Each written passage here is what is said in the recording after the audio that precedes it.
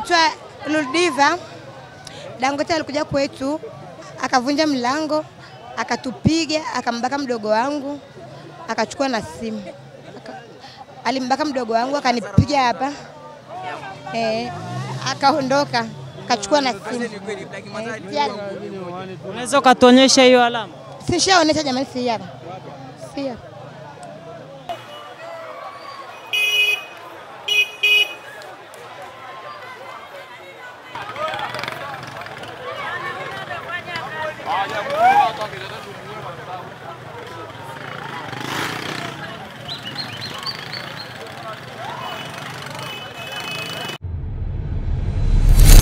Okay, na ripoti hapa nje ya chumba cha kuhifadhia maiti katika hospitali ya rufaa ya mkoa wa Arusha ya Mount Meru ambapo watu wamefika hapa kwa ajili ya kushuhudia mwili wa kijana ambaye anafahamika kwa jina la Ali Dangote ambaye siku za hivi karibuni IOTV pamoja na millardayo.com tuliibua taarifa zake ambapo inadaiwa kwamba aliua watu wanne pamoja na kujeruhi watu 15 katika maeneo mbalimbali ya mkoa wa Arusha. Watu wamefika eneo hili kutaka kushuhudia na kupata taarifa za ukweli kuhusiana na mtu huyo ambaye uh, inaonekana kwamba amekuwa tishio kutokana na matukio yake ambayo amekuwa akiyafanya hasa katika mkoa huu wa Arusha, ambapo taarifa ambazo zimetolewa na jeshi la polisi zinadai ya kwamba mtu huyo alikamatwa hii leo na wakati alipokuwa anapelekwa kwenda kuonyesha wenzake aliruka kwenye gari, ndipo ambapo alifariki dunia. Sasa tumefika hapa nje na tutazungumza na wananchi ambao wamefurika hapa zaidi ya mia mbili waweze kutuambia kuhusiana na tukio hili. Sasa tunaye mama hapa ambaye na yeye anajiwe kabisa, atuambie mama, habari ya leo? Ah, namshukuru Mungu salama sana, lakini mimi mpaka sasa hivi bado sijaamini kama huyu mtu amekufa ukweli. Ndio maana mimi nimeshikilia jiwe langu hapa, sababu tunaweza tukafanya mzaa ukamkuta tu labda kazimia. Kwa hiyo mimi nimejihadhari na jiwe langu hapa nilokuwa nalo. Huyu mtu amekuwa na amekuwa akisumbua watu kwa kiasi gani?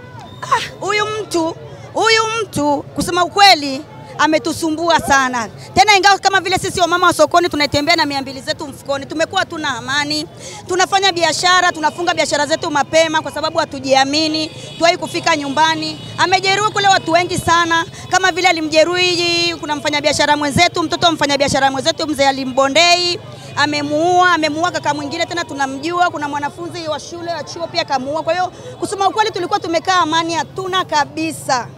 Poleni sana. Asante. Ah, mimi najijaza linalo naweza kafufuka kule. Mimi bado sijaamini. Si unajua niko na nani hapa, niko na mauzo hapa hivi, si ndio? Kwa hiyo bado mauzo yangu ya sokoni. Kwa hiyo bado sijajiamini kamili kwamba amekufa. Mpaka kusema ukweli, kama light ningeweza kumsogelea pale. Hili jiwe lilikuwa liwe dogo sana. Sikwambii uongo. Kwa hasira nilokuwa nayo. Hema my light wa sokoni tunatembea nayo. Umeelewa? Eh, sasa hivi tunatembea huru. Tukihakikisha ameingizwa mochwari tutatembea huru. Lakini sasa hivi bado hatujajua mpaka aingizwe mochwari.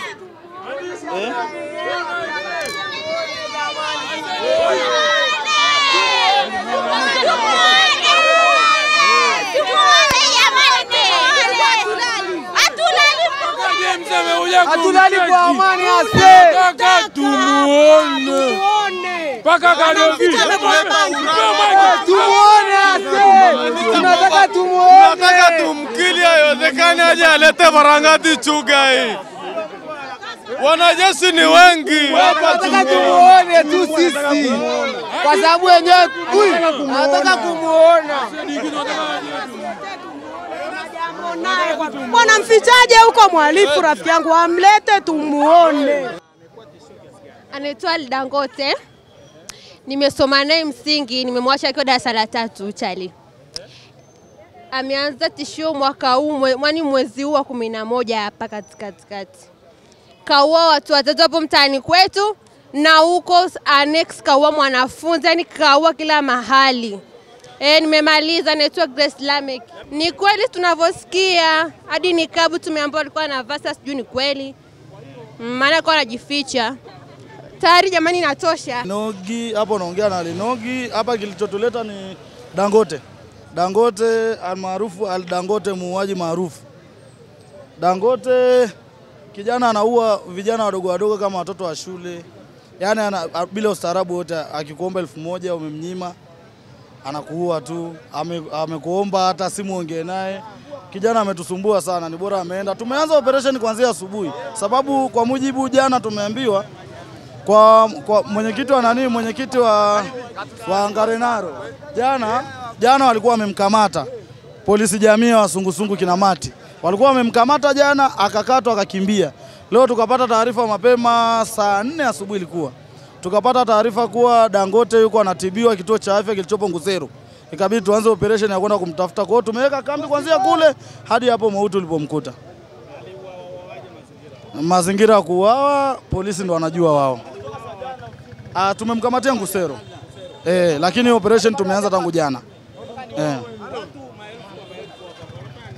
Ah, wako wamekusanyika kwa ajili ya kumwangalia muuaji. Ameua sana watoto wa shule, ameua watoto wa shule sana, na watu wamekusanyika kwa ajili hiyo. Joseph. E bwana, kwa kitendo hichi kwa wananchi wengi tume, tumechukizwa na hichi kitendo, na pia tunalishukuru jeshi la polisi kwa hatua walioichukua mpaka kuwafikisha kwenye siku kama ya leo kwa, kwa kijana kama mwenzetu kama huyu, kwa matukio aliyokuwa ameyafanya ni matukio ya kiunyama, kwa sababu ukija ukiangalia, tulikuwa kijana kama huyu angetakuwa ni awe anafanya uzalishaji kwenye taifa, lakini anadumaza maendeleo ya, ya, ya mji wetu kama Arusha. Watu wanaogopa huu mji kutokana na vijana kama hawa. Kwa hiyo inawezekaniki mtu mmoja kama huyu kuja kuharibu sifa ya mkoa wetu. Sifa ya mkoa wa Arusha ina sifa moja ambayo ni sifa ya utalii.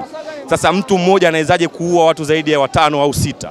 Kilichotuleta hapa ni, kwa, ni kutaka kuthibitisha kwamba kweli hili tukio lililotokea ni kweli huyu mtu ameshatangulia mbele ya haki, na hivyo hapo tulikuwa tunaiomba e, serikali kushirikiana na polisi wangefika katika ile eneo ili waweze kutuonyesha huo mwili na tuthibitishe, kwa sababu kiuhalisia hili tukio lilileta taharuki kubwa sana katika viunga vya Arusha. Kwa mantiki hiyo, tulikuwa tunaliomba jeshi la polisi kupitia Bokasa ambayo tunampongeza kama RTO Bwakisa ambao ni nani? Bwakisa tunampongeza OCD, OCCID mkoa wa Arusha, mkuu wa mkoa John Mongela tunampongeza kwa hatua hii. Naitwa Ramso FX, ni mkazi wa hapo Ngalimi. Huyu bwana yenyewe ujomba, ujomba ametutesa sana yenyewe. Kila sehemu tunasikia matukio matuki, matukio. Sema nini, hata leo wenyewe kumshika hivi tunafurahi, hata pale mtaani kutembea, wengine tuko tunapiga mishe zetu za usiku na matoyo tunawa, tunawaza.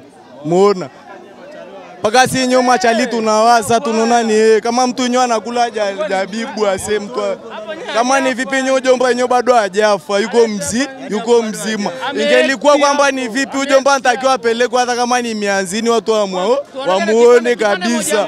Huyu bwana Dangote kafanya hivi na hivi, maana maniga akai kwa uhuru. Muone. Eh, watu wamuone.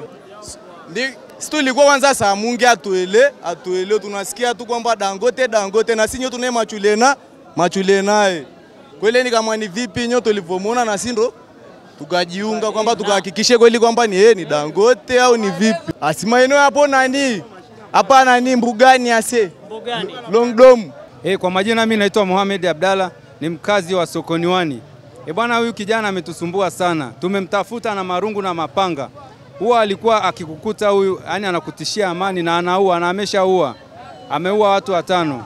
Kwa, kwa ukweli sisi taarifa ambazo tulizozipata za awali ni kwamba tulikuwa tuko doria tunamtafuta, tulikuwa maeneo ya Uswahilini kule, kule chini kama unaelekea Intel Lolovono. Wakati tunaendelea kumtafuta tukapigiwa simu kwamba huyu mtu tayari yuko mochwari. E, kiukweli ametusumbua sana huyu kijana. Hiyo e, hiyo ni kweli. Yaani ilikuwa tukifika hiyo eneo la tukio tukipewa direction kwamba eneo hili yupo, tukifika tunashangaa tuna, tuna, tuna, ameshapotea. E. Ah, kiukweli nguo alikuwa anavaa tu sana sana alikuwa anavaa sweta ambalo anajifunika hadi usoni. Lakini kwa taarifa nilionao ni kwamba baada kumfuatilia asubuhi walifanikiwa kumkamata. Wakati wanamkamata, aliwataja na wenzake wale washirika wake.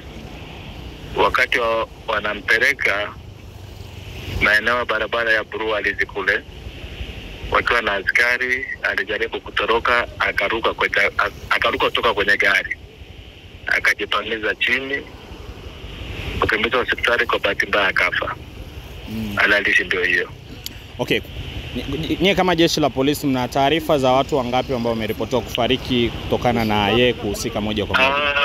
Kwa taarifa ambayo tulionayo, huyu mtu alikuwa, hizo zote ni stori za nyuma, tulishaweza kumkamata kipindi cha nyuma akishtakiwa na kesi ya mauaji na zingine za kujeruhi, lakini kesi zikaendelea. Kwa bahati mbaya eh, zilikuja kesi kuisha baada ya kukosekana ushahidi kwa watu kushindwa kuji, kushindwa kujitokeza kwenda kutoa ushahidi. Alivyotoka hajakaa kipindi kirefu, akampora mtu mmoja simu asubuhi asubuhi, akamchoma kisu na kumsababisha kifo baadaye. Kwa ndio kesi ambayo tulikuwa tukimtafuta nayo hiyo kesi. Kuna taarifa kwamba alikuwa akitumia ushirikina kukimbia. Hili nalo nilipata pia? Hizo hizo hizo sasa ni taarifa za watu za mtaani, siwezekani ku, eh, kuthibitisha kwamba alikuwa akitumia nguvu za kichawi au za nini, lakini mimi ninavyojua kwamba ni mhalifu kama wahalifu wengine tu. Kulikuwa kuna taarifa pia, kuna wakati anajifunika hadi hijabu ili asionekane. Na hizo nami mimi nimezisikia tu katika mtandao kwamba alikuwa anajifunika hijabu, alikuwa anajifunika nini eh, lakini yote ni katika kujikava asikamatwe.